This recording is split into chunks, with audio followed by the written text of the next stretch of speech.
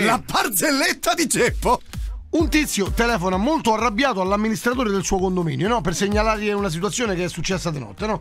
Come questo rispondeva così: Buongiorno amministratore, sono il signor Rossi. Ma prego, mi dica, signor Rossi. E eh, guardi, questa notte, alle tre esatte di notte, mentre stavo studiando, i miei vicini del piano di sopra hanno cominciato a fare un macello. Urla, colpi sui muri e sul pavimento. Sono andato avanti per un'ora intera. Io finché non ho finito di studiare. Eh, ma che posso fare? Devo fare qualcosa? Allora l'amministratore fa: Ma certo, signor Rossi, scriverò immediatamente una lettera di diffida. Non si devono permettere di disturbare, soprattutto mentre uno sta studiando.